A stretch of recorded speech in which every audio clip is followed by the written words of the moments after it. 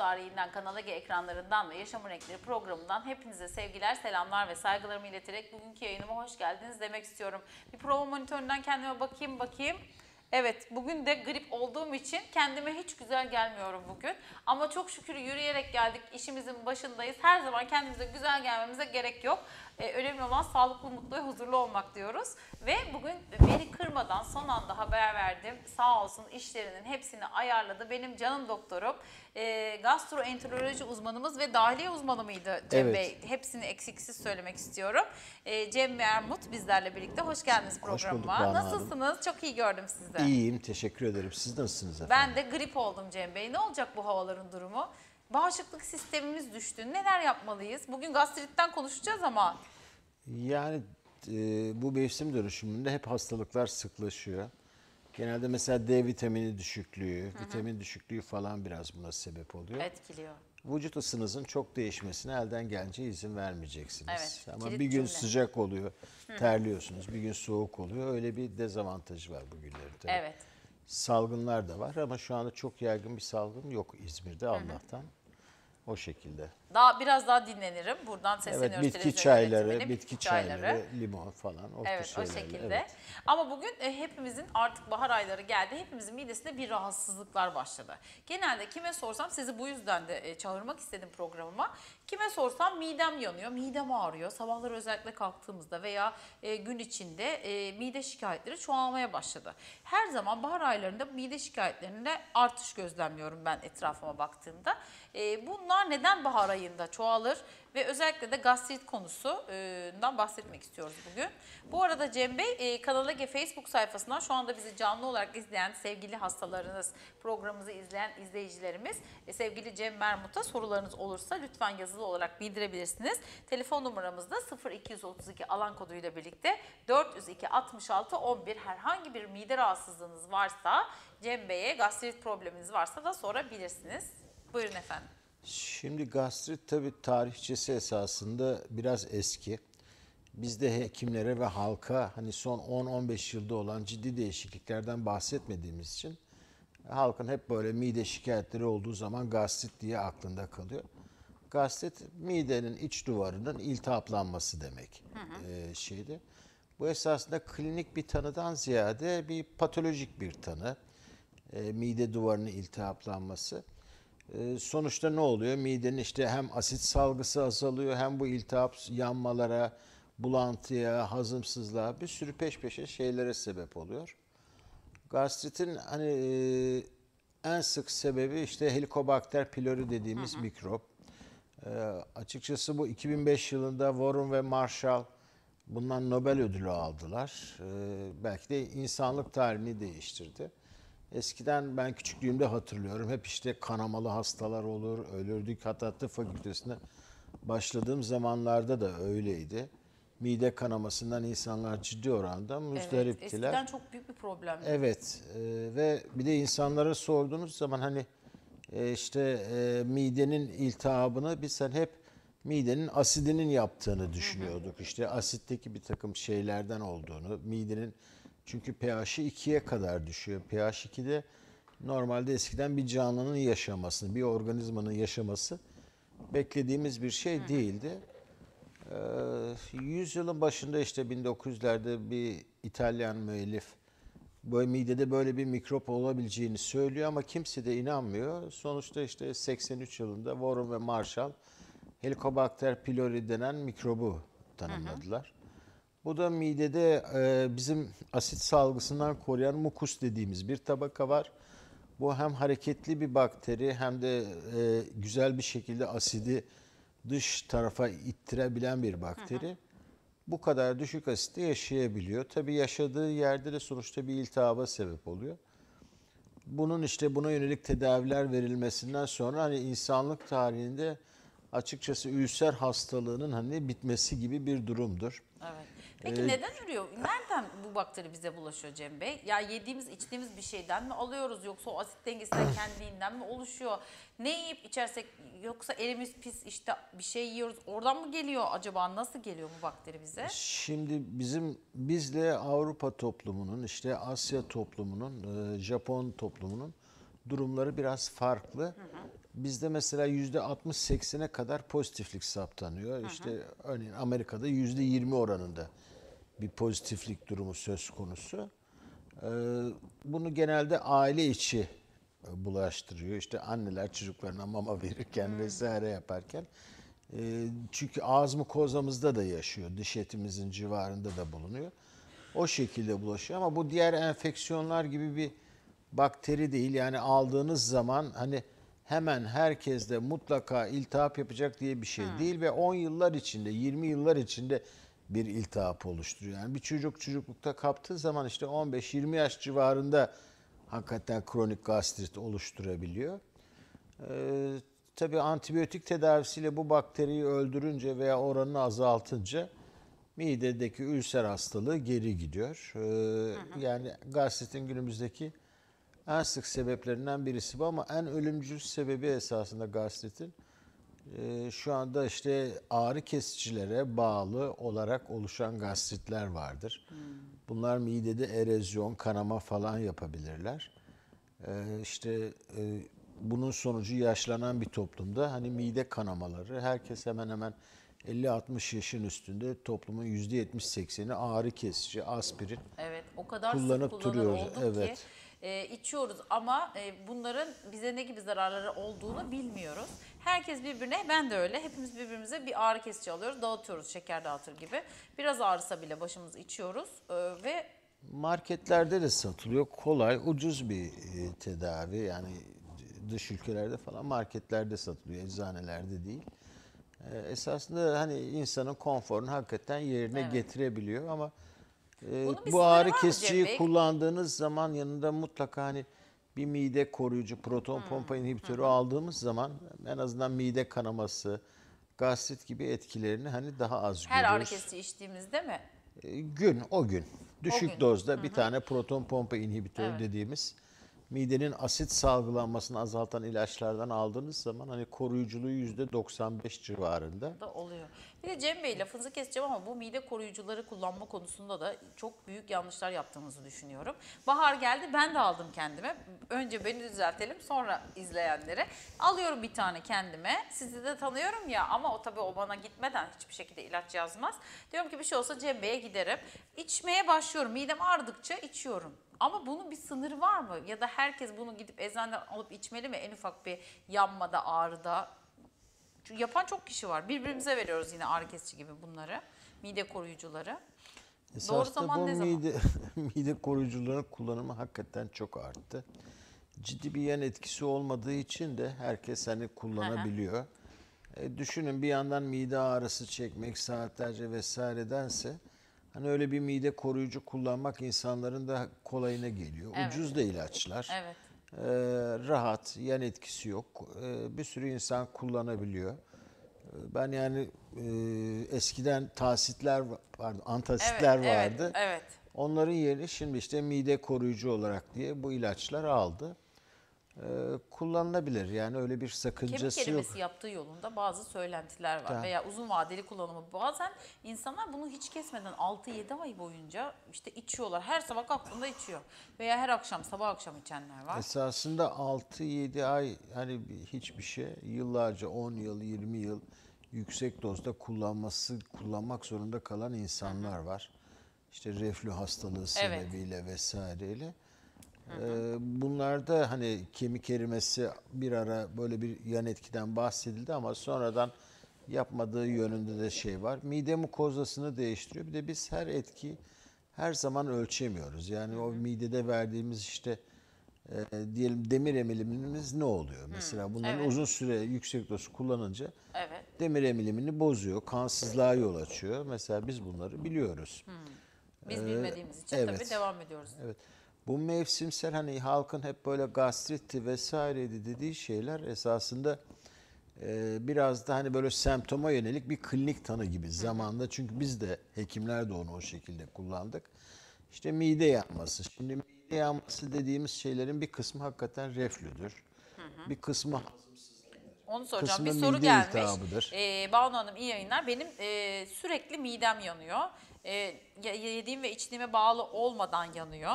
E, sadece soda ve e, Ne demiş? Çiğ yenen yemeklerden mi acaba diye sormuş. Soda esasında genelde Faydası olur mu demiş bunların. patates suyunu sormak istiyor. Evet patates suyu da Eski evet, olabilir. tedavilerden onlar patates falan sormak istiyorlar. Esasında patatesin hakikaten yararı var. Sarı kantaronun da biraz yararı var. Sarı kantoronu içenleri duydum. Evet. İçebilir miyiz kantaron yağını? içebilirsiniz ee, şeyde.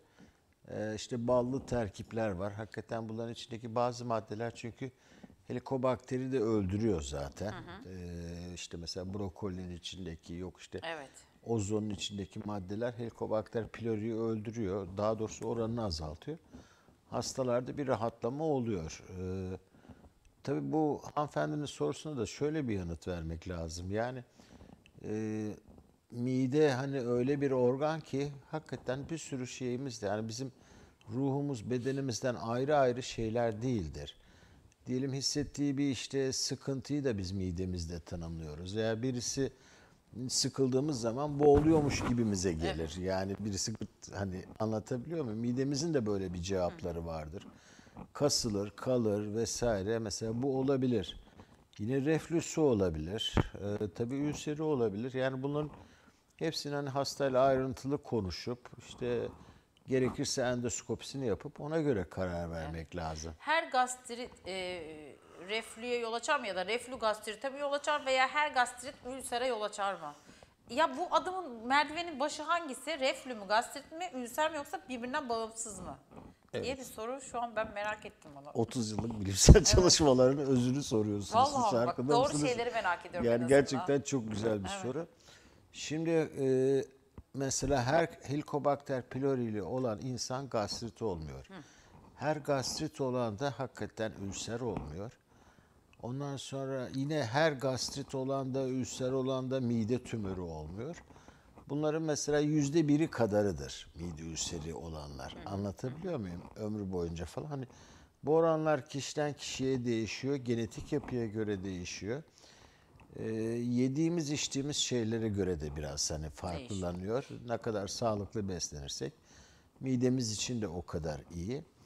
Ama bazen mesela bu gastritlerden bizim atrofik gastrit dediğimiz bir şey vardır. Bu atrofik gastrit de e, vücudumuzun mide hücrelerine e, karşı reaksiyon üretmesi. Mesela bu olduğu zaman orada evet bir otoimmün bir gastrit oluyor. Sonuçta da bu iltihabı ilerletiyor. Ee, özetle söylemek gerekirse yani elden gelince sağlıklı beslenmeye çalışmamız lazım. Hani işte sebze ağırlıklı vesaire yememiz lazım. Çok öğün ve çeşit Tam dediğinize uygun bir karıştırmamamız soru lazım. geldi. Sorayım mı? Sağlıklı beslenmek lazım diyorlar. Sağlıklı beslenmenin ilk adımı kahvaltıdır. Çoğumuz da çalıştığımız için kahvaltıda ne yiyoruz? Yoldan bir poğaça alıyoruz, bir simit alıyoruz. Ya iş yerinde hemen onu çayla yiyoruz ya da vapurlarda, otobüslerde yiyoruz. Şimdi bir hanımefendi demi- demiş ki Seren Hanım, kahvaltı sonrası mide yanması poğaçalardaki mayadan mı kaynaklanıyor yoksa reflü ya da gastrit gibi bir rahatsızlığın belirtisi mi? Sanıyorum e, poğaça yedikten sonra midesi yanıyor. Demek ki hamur işi. Bir şey söyleyeyim mi Seren Hanım? Ben de öyleydim. Poğaçayı kestim. Çok sağlıklıyım. Size de tavsiye ediyorum ama bakalım sevgili doktorumuz ne diyecek. Zaten cevabı verdi esasında. Neden bizim- ama mayalı şeyler yediğimizde? Mesela ben de e, gerçekten bazı ekmekleri yediğimde, bazı dışarıdan poğaça, kek falan yediğimde hemen o midem yanar. Şimdi bir işin içindeki bizim bu reflüyü falan kolaylaştıran veya işte mide hazmımızı zorlatan içindeki yağ ve karbonhidrat oranı Banu Hanım. E mesela poğaçalarda vesairede falan yağ oranı yüksektir. Esasında hani sizin demin söylediğiniz kahvaltıda şimdi gevrekçiler, simitçiler bana çok belki de kızacaklar da. Yo ama- yani ka- evet. kahvaltı bizim hani kahvaltı alışkanlığımızda yaptığımız o poğaça şey yani hiç doğru bir beslenme Evet değil. değil değil mi? Tek yani tip. gevrek esasında hepimiz seviyoruz lezzetli ama maalesef ki bu hani hacılara uzun süre bayatlamadan yanında kalorili şeyleri taşımak için olan bir yiyecektir. Gündüz her gün ritmimizde olması gereken hani böyle bu Evet. kadar şey bir şey değil. Ee, Böyle bunu mesela en çok zorluğunu bizim Türkler yurt dışına gittiği zaman yaşıyorlar. Evet, poğaça yok, simit yok, Yok ne? kahvaltı yapamıyoruz. Evet? Halbuki açık her şey dolu. Ee, yani iyi bir yiyecek değil. Kahvaltı için doğru bir tercih değil. Değil. Zaten e, hani siz doktorlar dersiniz ya kendi doktorunuz olun önce. Ben şöyle yapıyorum beslenirken. Yediğim bir şey bana dokunduğunu hissettiğim zaman onun türevlerini de deniyorum. Mesela bana ekmek gerçekten mayalı şeylerin dokunduğunu ben keşfettim. Ona göre onu az yiyorum. Ve her mide yanması da sanıyorum gastrit değil. Değil. Değil, mi? Mayalı şeyler Yediğimiz şeylere bağlı olarak da tepki verebilir. yüksek karbonhidrat muhtemelen yoksa orada yaşayan mayalardan dolayı değil. Ee, pardon sözünüzü kestim Yok, de yani şey o yiyeceğin özünden kaynaklanan ciddi bir sorun var o şeyler. Mesela işte pekmez, simit, gevrek dediğin şey yağ ve şeydir bunlar. Pekmez, un, susam eee, yani bunlardan o yağlı bir yiyecektir esasında gevrek dediğiniz şey.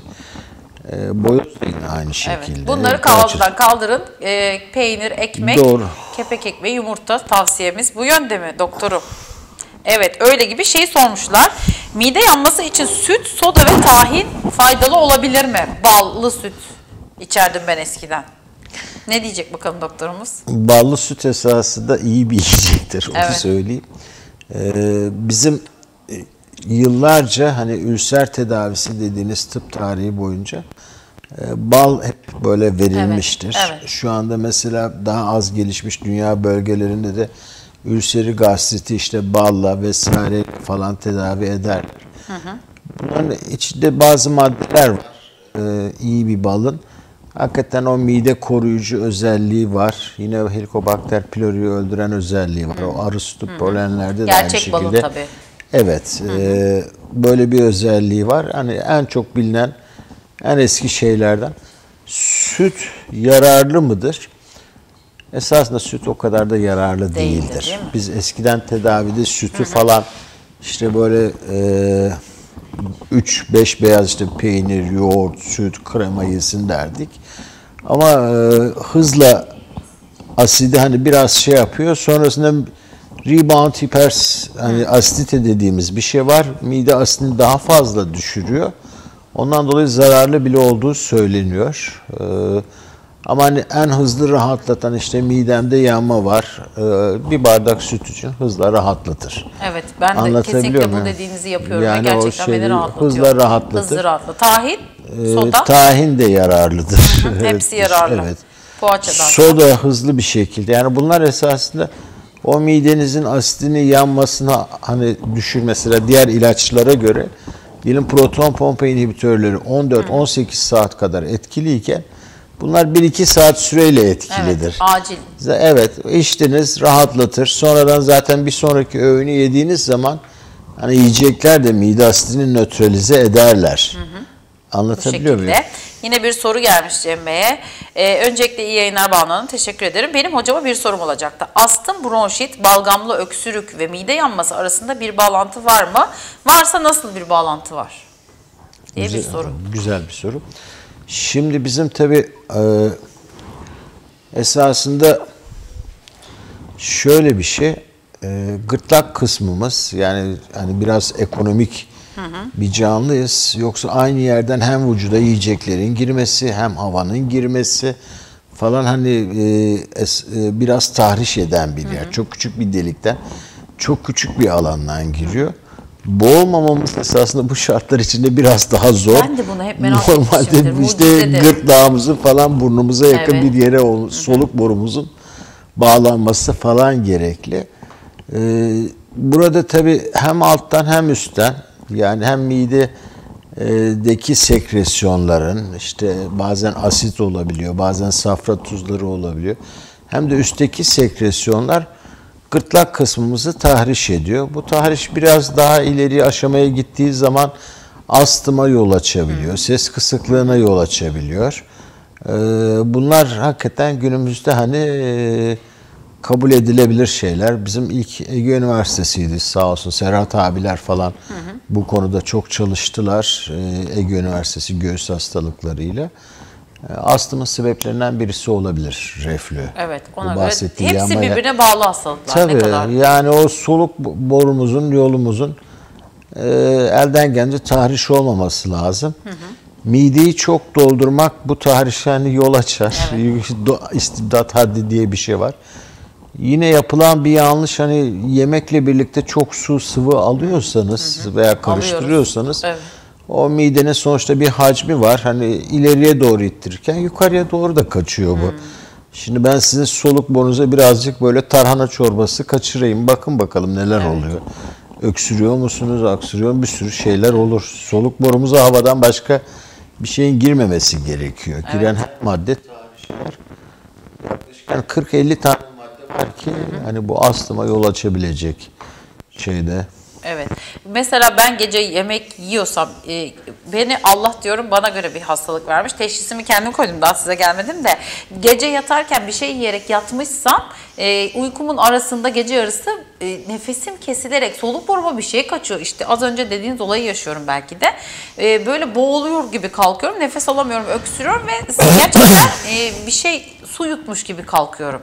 Demek ki orada bir kaçak oluyor. Gece- Gece yatmadan yemek yemezsem 3-4 saat aç yatmışsam hiçbir problem yok. Eminim böyle problemi olan çok kişi vardır şu anda Esasında izleyen. en fizyolojik olan gece yatmadan 3-4 saat önce yemeği kesmemiz. Kesmek işte o yüzden. Alkol almamak, Evet. işte ka- kahve içmemek, e, çok sıvı şeyler yememek. E, yine daha hani fizyolojik olan bir şey.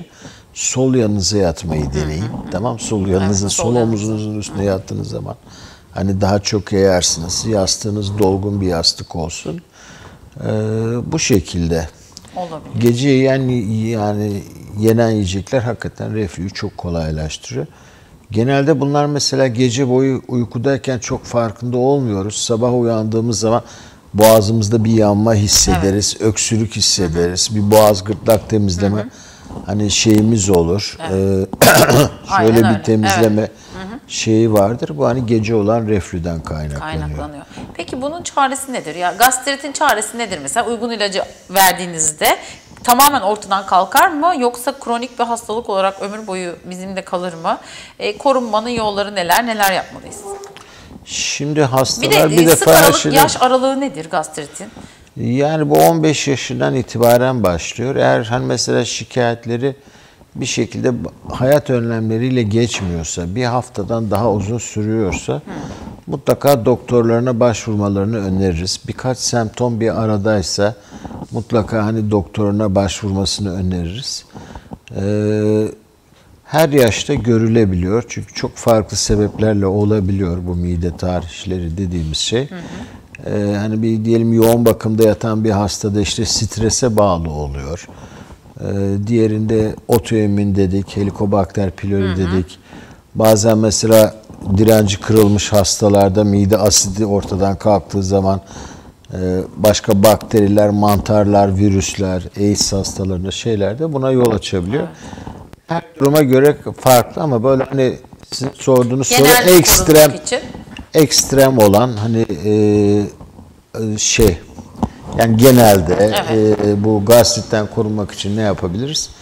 Açıkçası şey e, 4-5 saatte bir yemek yemek. Evet. Çünkü açlıkta mide asitimiz çok yükseliyor. Çeşit karıştırmamak e, hani hem reflü hem gastriti önlenmesine yol açar. E, bunlar hani yardımcı olur. Yiyeceklerden de e, mesela diyelim proteinli Mesela yiyecek. sebzelerin yendiğinde rahatsızlık verdiği söyleniyor. Ee, bunları pişirerek mi yememiz lazım? Bazısını da veriyor, bazısını da vermiyor ama o çiğ sebzeler. Ben baktım böyle. Herkese aynı belirtiyi vermiyor. Öyle bir kural yok yani. Şartlandırıyoruz ya kendimize. Çiğ yemeyeyim ben bunu haşlayayım. Sana dokunuyor ama ona dokunmuyor. Böyle farklılıklar olabiliyor. Esasında biz çiğ yemeğe adapteyiz. Evet, Eti bile çiğ yemeğe adapteyiz. Hani ateşin bulunması bizde e, beslenme süremizi kısaltan bir şeydir. Çünkü eskiden insanlar yediği bir yiyeceği e, 10 saat, 12 saatte hazmediyorlar. Biz pişirdiğimiz için kısa sürede hazmediyoruz. Bu pişirme vesaire falan hani şeyleri hazım açısından kolaylık kolaylık sağlar. Bir de elden geldiğince mesela kabuk miktarı eğer bir şeyi yararlanmak istiyorsak mesela işte üzüm çekirdeğini yerken eğer siz onu iyice ezmezseniz veya iyice çiğnemezseniz eee, onlardan yararlanabilmeniz de şeydi. Çünkü küçük parçalar haline gelmesi gerekiyor. Anlatabiliyor muyum? Yani e, öyle bir durumumuz söz konusu. Bu şekilde. Küçük iyice çiğnemek. İyice çiğneyeceğiz. Hava yutmayacağız değil mi bunları? Öyle Yavaş yavaş yemekte yiyeceğiz. su içmeyeceğiz gibi belirtiler. Ee, peki e, reflüye baktığımızda hangisi daha masum? Mesela gastrit, reflü, ülser üçlüsünü e, yan yana getirdiğimizde hangisine masum diyebilirsiniz? Hani daha böyle çok derinlere inmeden kurtulabiliriz gerekli tedaviyle. Bebeklerde bile reflü var mesela Cem Bey artık. Doğuyor bebek hiçbir şey yok ama reflüyle doğuyorlar. Reflü yastıkları satılmaya başladı. Benim doğum zamanımda bunlar yoktu ama şimdi bir sürü bebekte bunu görüyoruz. Bir de bunu sorayım. Aslında o bebek reflüleri tabii ayrı çocuk gastroenterologlarını ilgilendiren bir konu ama bunların hepsi hani siz demin dediniz ya işte insanlar midem yanıyor diyor ama esasında yanan yer yemek boruları. Anlatabiliyor muyum? Yani hepsi bir bütünün bir parçası. E, Doğru şekilde azar azar sağlıklı beslenirsek açıkçası bunların çoğu engellenebilir. Ee, sigara midemizi tahriş eder, alkol tahriş eder. En önemli Bunlardan şey. evet, Evet. Mutlaka uzak duralım. Ee, en önemli şeyler hani buradan bir mesaj vermek istiyorsak Evet. e, Lütfen sigara ve alkolden kızgın e, kızgın mutlaka uzak durun. Ama bazı hastalarımızda mesela enteresan bir şey olur. İşte doktor bey ben sigarayı bıraktım. Mide şikayetlerim arttı. Ee, Onu bir- neye bağlıyorsunuz? sigarayı bıraktıktan sonra hayır kilo aldıysa He, çok eğer hasta bir 3-4 kilo aldıysa reflüsü artmış oluyor. Genelde sigarayı bırakırken çünkü ortalama 8 kilo civarında kilo alınıyor. Hani ona bağlı olabilir. Birazcık nikotin esasında bağırsak hareketlerimizi falan rahatlatıyor. Yani sigara tiryakları hemen yemekten sonra bir sigara yakarlar. Hazmı kolaylaştırması açısından. Hani diyelim hazımsızlığı varsa e, bu da hani şeyle biraz daha artar. Sigara bırakmak stres yapmaz. Sigara daha fazla stres Bence yapar. de. Ve sonuçlarının getirdiği hastalıklar eminim çok daha Psikolojik stresi, düzeyde. gerginliği vesaireyi daha fazla arttırır. Anksiyeteyi Kesinlikle kesinlikle. katılıyorum. Şimdi biz e, tabii ki endoskopi Sigarayı bırakanları da tebrik, Tebrik ediyoruz. ediyoruz buradan. Ben de ediyorum. Azimli olun, kararlı olun ve sizi komple öldüren, hastalandıran bir maddeyi de lütfen kullanmayın diyoruz. Peki şimdi biz endoskopiden çok korkuyoruz yaptırmaktan. E, kolonoskopiden de çok korkuyoruz. Ve bu yüzden de bir gastroenteroloji uzmanına gitmektense işte böyle patates suları içiyoruz, bir sürü bir şeyleri yapıyoruz, baktık düzelmiyor. Size kapınızı çalıyoruz en son çare. Endoskopi ve kolonoskopi Tabii ki gastrit olduğu için endoskopi yapılıyor. Ee, bunun teşhisi bu endoskopi yapılmadan konulabiliyor mu gastritin? Müjdeli bir haber verelim de korkmasınlar hemen gitsinler size. Şimdi endoskopi taş, yani gastrit tanısı koymak için bazı durumlarda mutlaka illaki endoskopi yapmanız Evet, gerekebilir. gerekmiyor. Ama tabii dediğim gibi hani bu bir sürü şey e, yani bir yandan stres de tek başına işte Stres tek başına yapıyor mu Cem? Evet yani o da yola mesela öyle bir hastada diyelim midesi tertemiz pırıl pırıl hastanın stresini tedavi etmezseniz eee, o hastada yol alamazsınız veya işte eee, hani eee, endoskopisiz sadece Helicobacter pylori var veya yok onu yapabilecek testlerimiz var. Her gastrite hemen endoskopi yapalım mı? Hayır zaten böyle bir şeyimiz yok. Geldiği zaman hastayla konuşuyoruz. Semptomlarının durumuna, şiddetine, yaşına, risk faktörlerine göre o şekilde yani bir şey planlanıyor. Ee, endoskopi açıkçası hani bir mesaj Evet verelim. endoskopi doğru ellerde çok rahat bir işlem. 5 Örnek dakikalık bir Mahmut. 5 dakikalık Evet. bir işlemdir. Her gün oradan lokma geçiyor. Yani eğer hani bir 15 dakikada yemek yiyorsanız 5 dakikasındaki kadar bir rahatsızlık hissedersiniz. Bu boğazınızı uyuşturmak için zaten sprey uyutucu ilaçlarımız var. Ben size iki Endoskopiden türlü de korkmayın. Evet Korkmayın. ikisi de bakın e, o zaman ilk çıktı çıktığında ben yaptırmıştım. Çok uyutmuyorduk o zaman. Ve valla iki dakikada yaptırdım. Hiç de gayet de kolaydı. İkinci de uyutmuştunuz. O çıkışta nereleri gezdim. Endoskopi bitti ben çıktım. Hoşçakalın Cem Bey dedim. Bir, bir festivallere falan katılmıştım. Çekimlere gitmiştim. Gerçekten korktuğumuz gibi bir şey değil. Ama yeter ki eğil ellerde Evet. yapılsın. Siz Şey artık değil kaçıncı endoskopi, kolonoskopiniz hatırlamıyorsunuzdur tabii. Ve tabii ki sizin gibi tecrübeli doktorlar kendi inisiyatifini de kullanıyor. Ultrasonla baktıkları zaman belirtilerden bizim gastrit miyiz değil miyiz Tabii, bunun gibi tabii. e, teşhisleri çok kolaylıkla da koyabiliyorsunuz. E, Gastrit teşhisi esasında yıllarca biz hekimler en başta hani bundan 20 yıl kadar öncesinde her mide ağrıdığı zaman gastritir deyip hani İlaç. öyle bir şey yaptık. E, Ama günümüzde bu gastrit teşhisi hani alt sınıfları, üst sınıfları, gerekçeleri işte oradaki mesela endoskopi yaptığımız zaman önemli olan bir şey diyelim hücre durumu önemli. Eğer mide hücreleri hakikaten mikroskobik incelemede deforme ise mesela onu takip etmemiz gerekiyor. Evet. Çünkü bu işte gastrit, e, displazi, metaplazi, displazi, mide tümörü diye de gidebiliyor. Hani hangi aşamada olduğunu bilme açısından endoskopi e, Gerekli yapılabilir. olabilir. Yaşına Kaç göre. yaşına itibaren tavsiye ediyordunuz? Onu da yeri gelmişken söyleyelim. Kontrol amaçlı. Yani şu anda dünyada böyle hani mesela bizim kolonoskopide 50 yaşından sonra 50 diye yaşından sonra. her 10 yılda bir tavsiye vardır.